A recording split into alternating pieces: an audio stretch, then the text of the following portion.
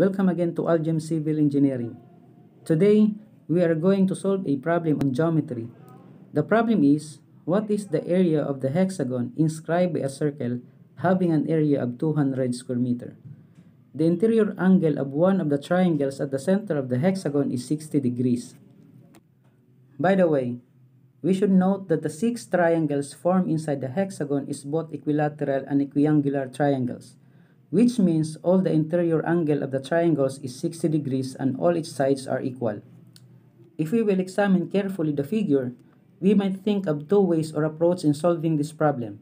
First, we might consider solving the area of one of the triangles inside the hexagon and multiply it to 6 to get the area of the hexagon. The second approach might be computing the area of the shaded area, which is the area of segment of the circle, and multiply it to 6 to get the total area of the shaded portion. After that, we will subtract our answer to the area of the circle to get the area of the hexagon. We will try to solve these two approaches and we will see if we can get the same answer. Okay, so let's try the first approach. We will solve first the area of one of the triangles inside the hexagon then we will multiply it to 6 to get the area of the hexagon. Since the area of the circle is given, which is 200 square meter, we can compute the value of the radius of the circle, which happens to be also the side of the triangle. The formula for the area of circle is pi r squared. Solving for the radius, area is equal to pi r squared. Substituting the value of area, 200 is equal to pi r squared. Solving for the radius, r squared is equal to 200 divided by pi or r is equal to the square root of 200 divided by pi or we can get the value of r which is equal to 7.98 meters. Now that we have the value of radius r, we now have a triangle that looks like this. The triangle has two sides given and an included angle of 60 degrees. The area of this triangle can be solved using this formula area is equal to r squared sine theta divided by 2. By the way, I have a video on the different formulas that might be used in computing the area of triangle. You can visit my YouTube channel or you can see it through the link below.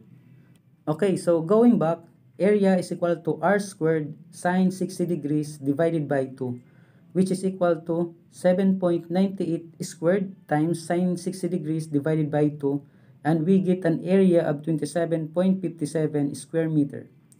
To get the area of hexagon, we will multiply 27.57 square meter times 6 and we get the area of hexagon equal to 165.42 square meter.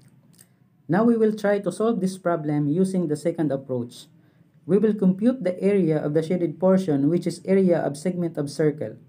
Then, we will multiply it to 6 to get the total area of the shaded portion. And after that, we will subtract our answer to the area of the circle which is 200 square meter to get the area of the hexagon. Let's see if we can come up with the same answer. To compute the area of segment of circle, we will use this formula. Area is equal to 1 half multiplied to r squared multiplied to pi divided by 180 multiplied to theta minus sine theta. Substituting the value of r and theta, area is equal to 1 half multiplied to 7.98 squared multiplied to pi over 180 multiplied to 60 minus sine of 60. And we get a value of area equal to 5.77 square meter. So, area of one of the shaded portion is 5.77 square meter. To get the total area of the shaded portion, we will multiply 5.77 to 6 and we can get an answer of 34.62 square meter. To compute the area of hexagon, area is equal to area of circle minus total area of the shaded portion. So, area is equal to 200 which is the area of the circle minus 34.62 which is the total area of the shaded portion. And thus, we will get the area of the hexagon which is equal to 165.38 square meter. Comparing the two answers, we can see that they are almost the same and that is okay. The small discrepancy is caused by the rounding off of numbers. Okay, so that's it guys. Thank you for watching this video. I hope you learned something. Please click the like button and leave some comments below. If you haven't subscribed yet to my channel, subscribe now for more videos. Thank you and see you next time.